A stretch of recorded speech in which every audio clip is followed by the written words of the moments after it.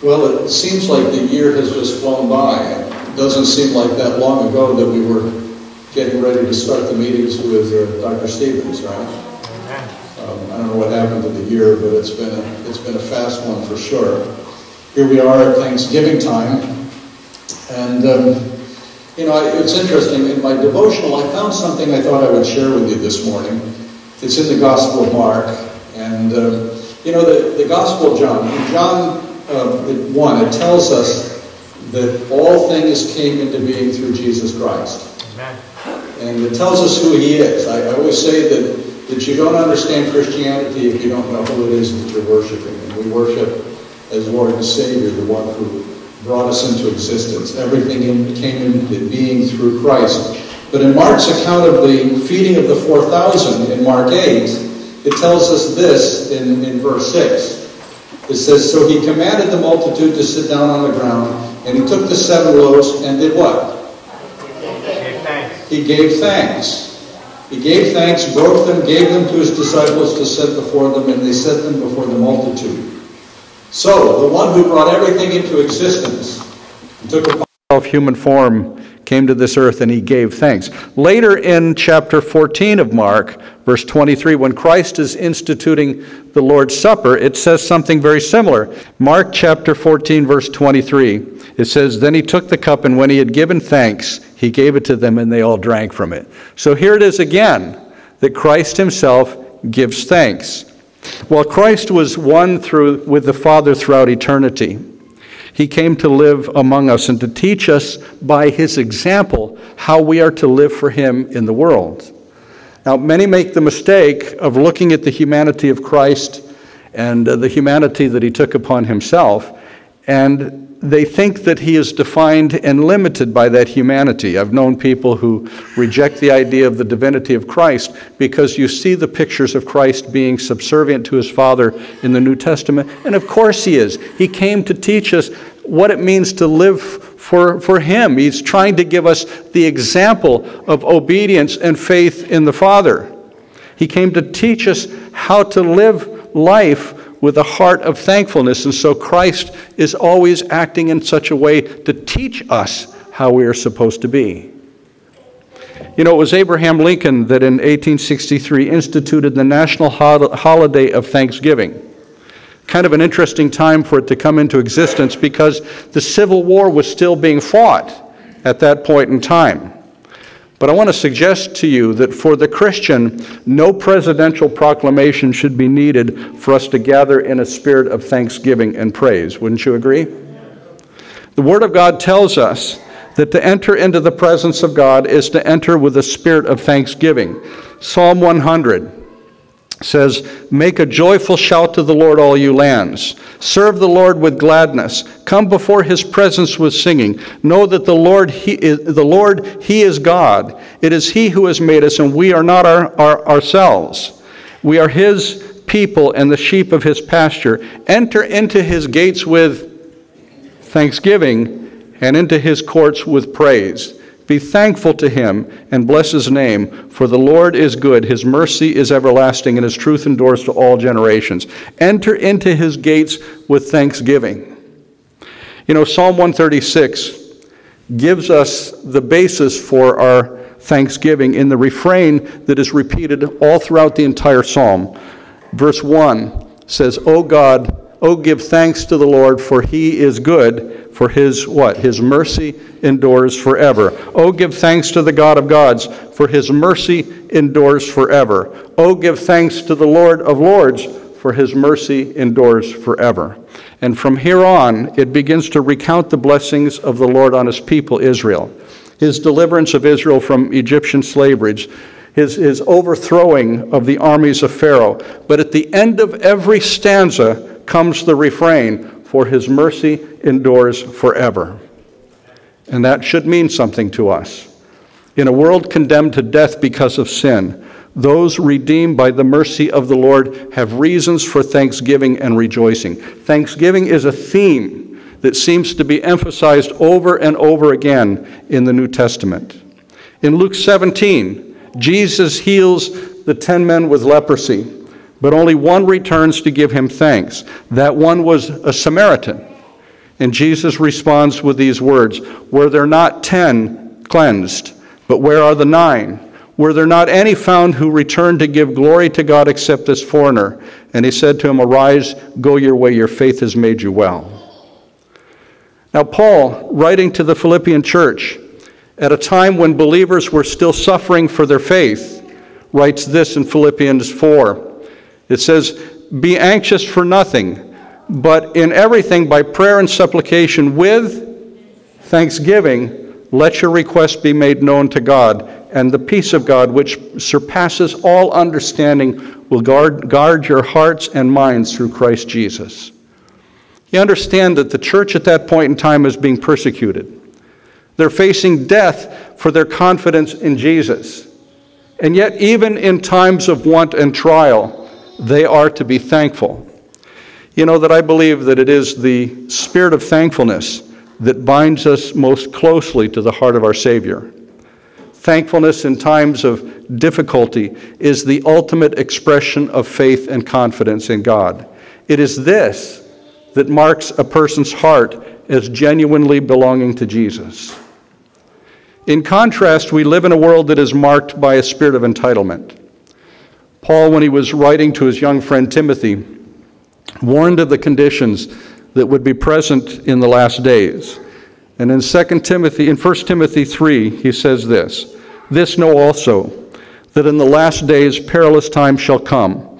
For men shall be lovers of their own selves, covetous, boasters, proud, blasphemers, disobedient to parents. What's the next one? unthankful, unholy, without natural affection, truce breakers, false accusers, incontinent, fierce, despisers of those that are good, traitors, heady, high minded, lovers of pleasure more than lovers of God, having a form of godliness, but denying the power thereof, from such turn away. Now, covetousness, boasting, pride, blasphemy, we get the seriousness of all of those sins. But the one that is interesting is unthankfulness. It's sandwiched into the list as one of the sins that will prevail at the end of time. Every breath we take is a gift from God. Every time we are able to get out of bed in the morning, and there's sometimes when the weather's cold and you're a little stiff like I was this morning, it's a little harder to get out of bed.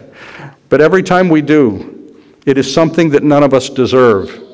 And yet sometimes we live life as if we are entitled to everything. We forget that God is not obligated to give us anything, and yet we expect it all. Now, don't misunderstand me. God is one who loves to give us gifts. You know, as every parent loves to give their children something special, God loves to give us gifts. In fact, Desire of Ages makes this interesting comment. It says this It says, Looking unto Jesus, we see that it is the glory of our God to give. Have you ever seen that statement before? It is the glory of our God to give. I do nothing of myself, said Christ. The living Father hath sent me, and I live by the Father. I seek not mine own glory, but the glory of him that sent me. In these words is set forth the great principle which is the law of life for the universe. All things Christ received from God, but he took to give. Let me catch up here. So in the heavenly courts, in his ministry for all created beings. Through the beloved Son, the Father's life flows out to all. Through the Son, it returns in praise and joyous service, a tide of love to the great source of all. And thus, through Christ, the circuit of beneficence or love is complete, representing the character of the great giver, the law of life. God is the great giver. He loves to give gifts. It's our self centeredness that make us think that we deserve all of those blessings. And so we grumble and we complain when we don't get what we want or expect. In 1 Thessalonians 5, Paul writes these simple words.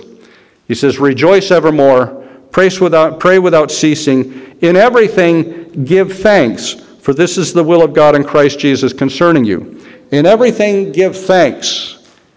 In everything? I don't know, some things don't feel like something that you would want to give thanks for. It's kind of a hard concept to comprehend, isn't it? But I'm reminded of Paul in Romans 8:28 where he says, And we know that all things work together for good to them that love God, to them who are to those who are called according to his purpose. It isn't all good things work together for good. It's that all things work together for good. Whatever comes in life, good or bad, no matter how hard it is, the Lord will make it turn out for good for us. We, if we have the confidence that the all things will be worked out for our eternal best, then we have reasons to rejoice, don't we? We have reasons to be thankful even for the hard things that come. I believe that it's the voice of thankfulness is a praise that is especially precious to the heart of the Lord. In Mark 11 is recorded the second time that Jesus changed, chased the money changers and overturned the tables in the temple. Three and a half years earlier, Christ began his ministry by cleansing the temple. The beginning cleansing and the latter cleansing of the temple is a reminder that only God can clean the heart. But in fact, Christ will, would cleanse the temple even at the end of his ministry, which is in many ways a reminder that he that has begun a good work will bring it to completion. He began his work by cleansing the temple, he concluded his work by cleansing the temple, he begins his work in us by cleaning our hearts, and he continues that work, cleaning our heart until the very end when he comes the second time. It's not the work of Christ, it's not only the work of Christ to begin the work of salvation in us, but it is his, his work to complete it. He begins the work in us, and through our faith in him, he continues that process until he completes it and gets us ready to go home. Desire of Ages, in describing the first cleansing of the temple, uses words that I find that are significant. The first cleansing of the temple is found in the Gospel of John, chapter 2. In this account by John, Christ does something that seems out of character for him. He binds together a set of ropes and makes himself a scourge and raises it above the heads of, of those who are buying and selling in the temple, threatening to use it on them. And he chases the money changers out, he chases the animals out, he overturns the tables and, uh, and, and chases everybody out. And John says the disciples would recall the passage in the Old Testament that says, Zeal for your house has eaten me up. Now, Desire of Ages describes the reaction of the religious leaders. They, along with everyone else, has been chased out of the temple. And here's what Desire of Ages says about it. If you don't mind, if I there's a few paragraphs I want to share from you, share from Desire of Ages with you, because I, I think they're incredible statements. It says, slowly and thoughtfully, but with hate in their hearts, they return to the temple. But what a change has taken place during their absence.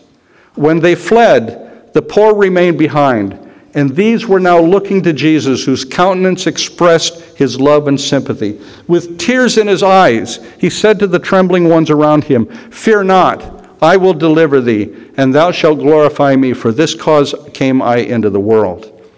The people pressed into Christ's presence with urgent, pitiful appeals Master, bless me. His ear heard every cry. With pity exceeding that of a tender mother, he bent over the suffering little ones. All received attention. Everyone was healed of whatever disease he had. The dumb opened their lips in praise. The blind beheld the face of their restorer. The hearts of the sufferers were made glad. As the priests and temple officials witnessed this great work, what of revelation to them were the sounds that fell on their ears. The people were relating the story of pain they had suffered, of their disappointed hopes, of painful days and sleepless nights when the last spark of hope seemed to be dead. Christ had healed them. The burden was so heavy, one said, but I have found a helper. He is the Christ of God, and I will devote my life to his service. Parents said to their children, He has saved your life. Lift up your voice and praise Him. The voices of children and youth, fathers and mothers, friends and spectators blended in thanksgiving and praise. Hope and gladness filled their hearts.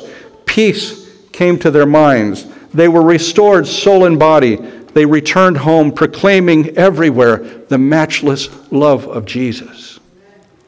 What an incredible description of what was taking place. In describing the second cleansing of the temple, very similar language is used. It describes what the religious leaders met when they came back to the temple. They heard the voices of men and women and children praising God. They saw the, the sick healed, the blind restored to sight, and the crippled leaping for joy. They were rejoicing because Jesus had healed them. He held the children in his arms and received their kisses of affection, and some of them had fallen asleep in his arms as he was teaching the people. Now, with glad voices, the children sounded his praise. They repeated the hosannas of the day before and waved palm branches triumphantly before the Savior. The temple echoed and re echoed with their acclamations Blessed be he that cometh in the name of the Lord, and behold, thy king cometh unto thee. He is just and having salvation. Hosanna to the Son of David. Now, the interesting thing is, is that the word worship is not used in Desire of Ages when it recounts either of these events. But these statements provide the most perfect definition of worship I've ever read, ever read anywhere. Because to me, that's what's happening. They are praising and, and expressing their gratitude and their thanksgiving and their honor to Jesus. True worship, do you understand, is people gathering together to give expression to their thanksgiving and their gratitude to the Creator of all things for His incredible blessings. That's what worship is. That's what worship really is. You know, what I can tell you without any hesitation is that in spite of our guilt and sin, we are deeply loved. Christ came to give his life as a ransom for you and I. We have so much for which to be thankful. Our lives ought to be filled with praise and thanksgiving. You know, it's interesting. According to the book of Revelation, thanksgiving is going to be a part of our life even in the world to come. Revelation 7 talks about the 144,000. And it's interesting because I've had people through the years who've tried to define for me who the 144,000 are, and I always point them to the Spirit of Prophecy statement that says, We shall all soon know who the 144,000 are, you know.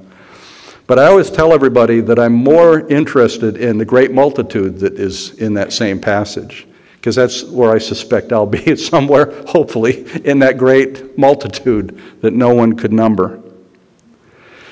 And then in verses 11 and 12 of, Rev- of Revelation 7, the angels break into song. And here's what it says here it says, All the angels stood around the throne, and the elders and the four living creatures, and fell on their faces before the throne and worshiped God, saying, Amen. Blessing and glory and wisdom, thanksgiving and honor and power and might be to our God forever and ever. Amen. It is here in this life that we practiced to join the angelic hosts in their songs of praise and thanksgiving. We practice it here by learning to offer thanksgiving and praise to the great giver of gifts now.